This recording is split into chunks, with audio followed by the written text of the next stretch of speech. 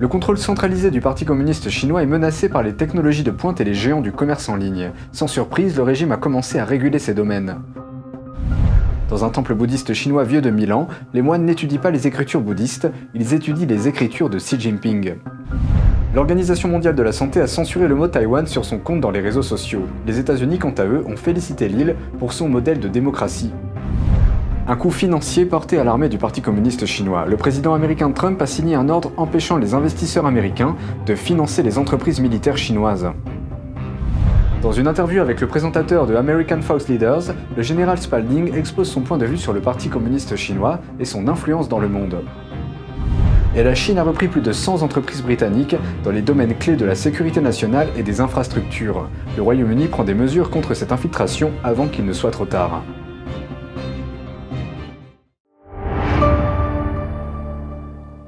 Bienvenue dans Regard sur la Chine, je suis Vladian Huitens.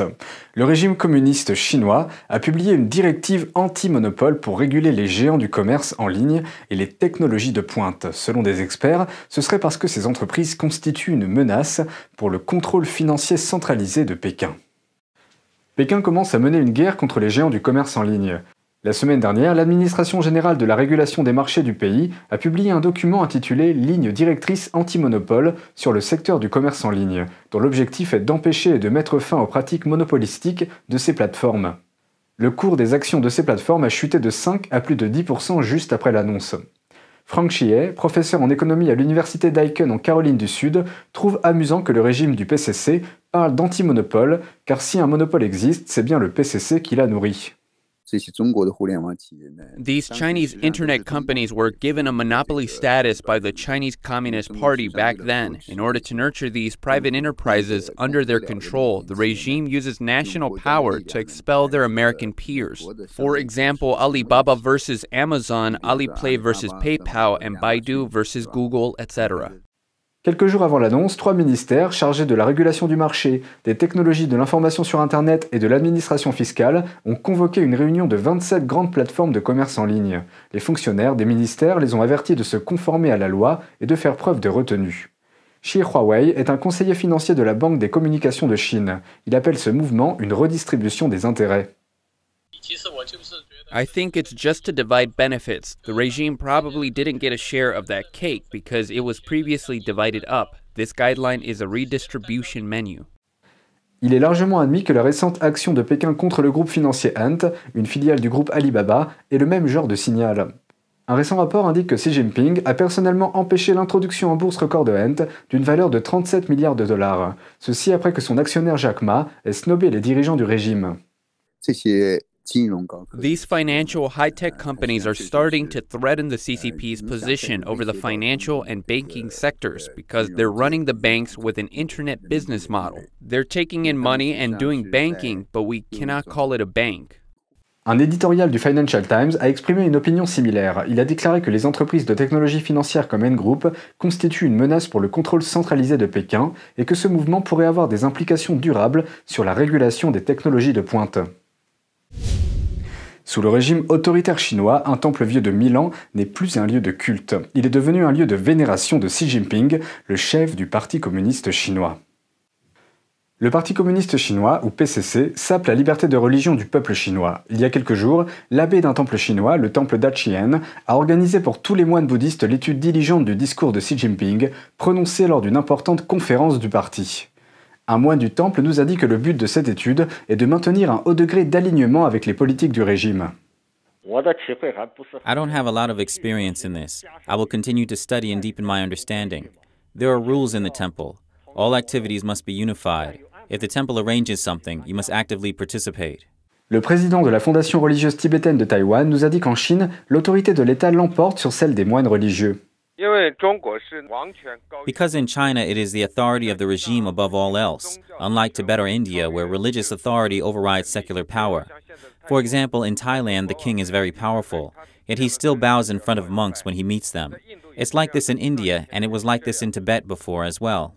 Le temple d'Aqian de Chine est situé dans la ville de Xi'an, au nord de la Chine. C'est un temple bouddhiste de renommée mondiale dont l'histoire remonte à plus de 13 siècles. Passons maintenant à la province du Hebei, au nord de la Chine. Une usine de coton y a explosé jeudi 12.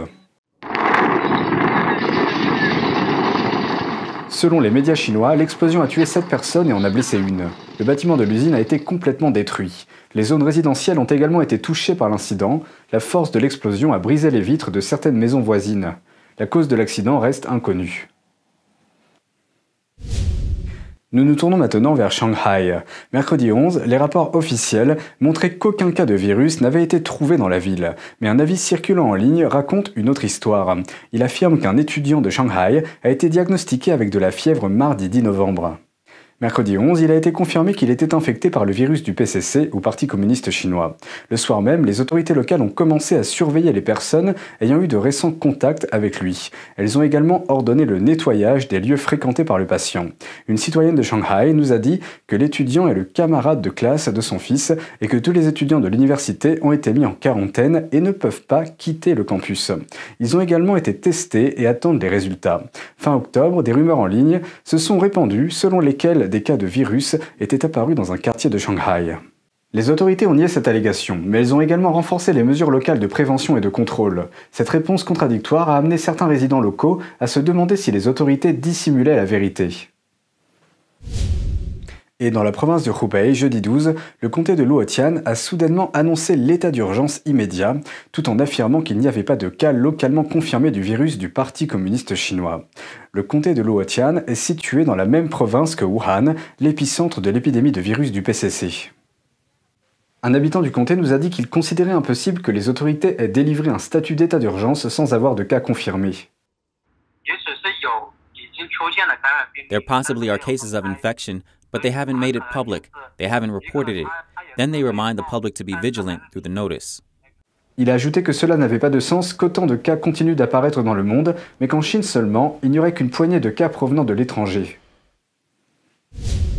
Tianjin, l'une des principales villes portuaires de Chine, a signalé un cas local de virus. Le patient affecté travaille dans une usine de produits surgelés.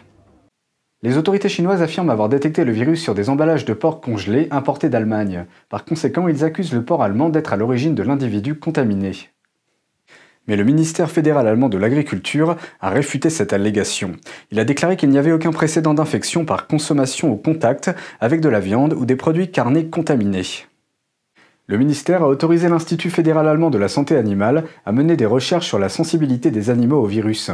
Les résultats montrent que les porcs, les poulets, les canards et les dindes ne peuvent pas contracter la maladie, et que les souches du virus chez les vaches ne sont pas transmissibles aux humains ou aux autres animaux. Nous nous rendons maintenant au Royaume-Uni. Selon le think tank basé à Londres The Henry Jackson Society, connu sous le nom de AGS, les entreprises chinoises ont repris ou partiellement repris environ 120 entreprises britanniques au cours de la dernière décennie. Et la base de données de AGS montre que ces entreprises sont réparties dans des secteurs clés tels que la défense, l'aviation, les semi-conducteurs, l'information, la finance, ainsi que d'autres entreprises qui desservent les infrastructures cruciales du Royaume-Uni. Ces secteurs ont été désignés par le Parti communiste chinois comme étant la clé de la stratégie Made in China 2025 de Pékin. Ce plan vise à accroître la capacité de production de la Chine afin de lui permettre de dominer la production mondiale de haute technologie. La base de données de AGS a été révélée après la publication mercredi 11 du projet de loi britannique sur la sécurité nationale et les investissements. Ce projet de loi consolide les pouvoirs en matière d'enquête et d'intervention du gouvernement concernant les transactions malveillantes d'entreprises impliquant des questions de sécurité nationale. Le projet de loi obligera les entreprises à divulguer toute tentative potentiellement hostile de diriger les investissements étrangers dans les secteurs clés de l'entreprise, en particulier la défense, l'intelligence artificielle, la robotique, l'énergie et l'informatique. Nous nous tournons maintenant vers l'Organisation mondiale de la santé. Il s'est avéré que la page Facebook de l'OMS a bloqué les messages relatifs à Taïwan. Le Premier ministre taïwanais Su Chen-chang a critiqué la censure et a déclaré que c'était un signe du manque de confiance du Parti communiste chinois. Taïwan n'a pas été invité à l'Assemblée mondiale de la santé cette semaine en raison de l'obstruction du PCC. De plus, les internautes ont découvert que la page Facebook de l'OMS bloque tout message contenant les mots-clés Taiwan can help. Les internautes ont donc commencé à être créatifs dans leurs posts. Ils ont utilisé des symboles à la place des mots pour essayer de faire passer leur message. Lorsque les journalistes ont demandé au Premier ministre de Taïwan son avis sur la censure, Su a souligné que Taïwan dispose de la meilleure prévention et du meilleur contrôle des épidémies. Il a déclaré que Taïwan est tout à fait disposé à partager cette information avec le monde et que de nombreux États membres de l'OMS sont très positifs vis-à-vis de Taïwan. Une ambassadrice de Taïwan basée aux États-Unis a testé la page Facebook de l'OMS pour prouver que la censure existe. Elle a tweeté une capture d'écran et a critiqué le tweet de l'OMS pour avoir pris l'habitude d'accepter la censure du Parti communiste chinois. L'OMS a répondu jeudi 12 novembre que sa page Facebook subissait des cyberattaques massives en raison des mots-clés comme Taïwan et que des filtres avaient été ajoutés pour bloquer ces messages. Ils disent que le blocage est maintenant levé. Le président Donald Trump a signé un décret exécutif qui portera un coût financier à l'armée du Parti communiste chinois. Ce décret empêchera les investisseurs américains de financer les entreprises militaires communistes chinoises. Ces investissements, qui selon l'administration Trump, sont essentiels pour développer le complexe militaro-industriel du PCC. Le président a déclaré dans son décret que le PCC profite de plus en plus du capital américain pour se financer et permettre le développement et la modernisation de son armée. Il a déclaré que cela permet au régime communiste de maintenir sa menace directe sur le sol américain comme à l'étranger, y compris en utilisant des armes de destruction massive et des armes conventionnelles avancées. La stratégie nationale militaire du PCC oblige le secteur privé chinois à soutenir son armée et donc elle contribue à l'expansion du complexe militaro-industriel du pays. Le décret prévoit qu'à compter du 11 janvier 2021, toute transaction financière entre un Américain et une compagnie militaire communiste chinoise sera interdite. Un professeur d'université américain a plaidé coupable jeudi 12 pour avoir partagé avec la Chine des recherches médicales financées par le gouvernement fédéral. Le professeur est lié à des groupes chinois pro-Pékin aux États-Unis. Un professeur d'université plaide coupable d'avoir utilisé illégalement des fonds fédéraux pour aider la Chine à renforcer sa recherche biomédicale. Il risque jusqu'à 5 ans de prison.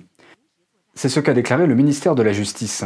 Song Guo-Zheng était professeur de médecine interne à l'Université d'État de l'Ohio aux États-Unis. Lorsqu'il a demandé une subvention de 4 millions de dollars aux instituts nationaux de la santé, financés par les contribuables, Zheng n'a pas déclaré son emploi dans une université chinoise.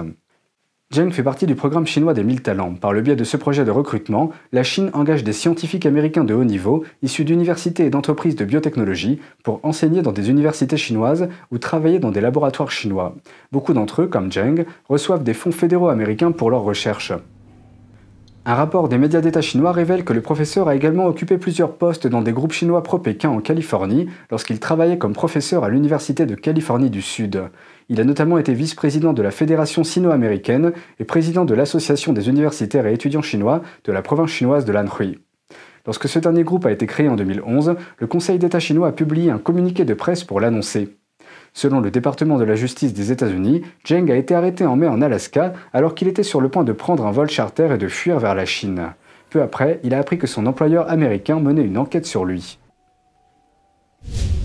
L'émission américaine American Fox Leaders a interviewé le général Robert Spalding. Il a parlé de l'impact du Parti communiste chinois sur l'Amérique et a déclaré que l'ensemble des intrigues de 2020 concernaient le Parti communiste chinois.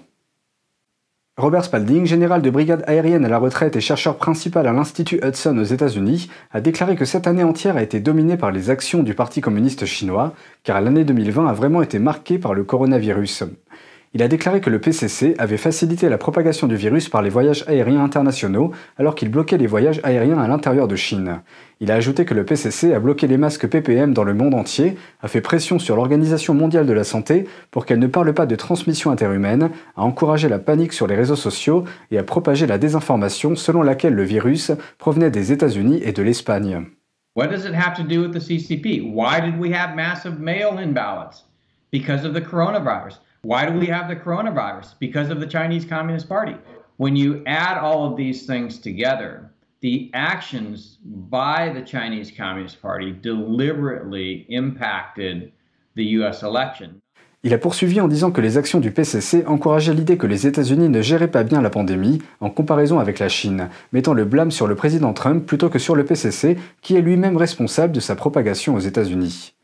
Selon Spalding, le paysage culturel, politique et académique, avec des éléments comme la théorie critique de la race et les programmes de justice sociale, reflète celui du régime communiste oppressif de la Chine. We are, in 2020, in the midst of a people's war waged by the Chinese Communist Party around the world to essentially destroy liberalism. And in many ways, we're cooperating because we, we censor ourselves, I could look at the United States and see many of the same things that were happening in China. In other words, widespread censorship, widespread oppression of views. In other words, there's only one truth, and it's the truth of the Chinese Communist Party issues. And if you have another opinion, then you're isolated. Monsieur Spalding a déclaré que les services de renseignement et les journalistes pourraient contester l'impact du parti sur le monde car il n'existe aucune trace écrite. Mais, a-t-il dit, le PCC est l'une des organisations les plus secrètes au monde qui ne télégraphierait jamais ce qu'elle fait, à moins qu'il y ait une crise majeure dans le pays. Selon lui, sachant comment le Parti communiste chinois fonctionne, le lien entre le régime et cette année 2020 est très clair. Nous passons maintenant aux commentaires des téléspectateurs. Après avoir regardé notre série en trois parties Survivre 7 ans dans une prison chinoise, axée sur le travail forcé, de nombreux téléspectateurs ont écrit des commentaires. Certains ont demandé quel était le problème avec le travail en prison, puisque cette pratique existe aussi dans les prisons américaines. Il est vrai que le 13e amendement de la Constitution américaine autorise le travail forcé dans les prisons américaines en tant que punition pour un crime. Et certains groupes réclament une réforme de l'industrie carcérale aux États-Unis. Mais il y a encore une différence essentielle entre la situation aux États-Unis et en Chine. Des millions de détenus dans les prisons, les camps de travail et autres lieux de détention chinois n'ont commis aucun crime, mais sont détenus en tant que prisonniers de conscience. Ils appartiennent à des groupes persécutés comme le Falun Gong, les musulmans ouïghours, les chrétiens des églises domestiques ou les militants pro-démocratie. La plupart d'entre eux ont été détenus arbitrairement, d'autres n'ont eu qu'un procès factice sans aucune procédure régulière, beaucoup d'entre eux ont été torturés et ont subi d'autres formes de mauvais traitements. Et comme l'a conclu un tribunal indépendant l'année dernière, un nombre important de prisonniers d'opinion en Chine ont été tués pour leurs organes. Regard sur la Chine, c'est fini pour aujourd'hui. Merci pour votre présence et votre soutien. N'hésitez pas à partager nos vidéos pour nous aider à diffuser une information non censurée sur la Chine et à défendre la liberté de la presse et les droits de l'homme. Très bonne soirée et à bientôt.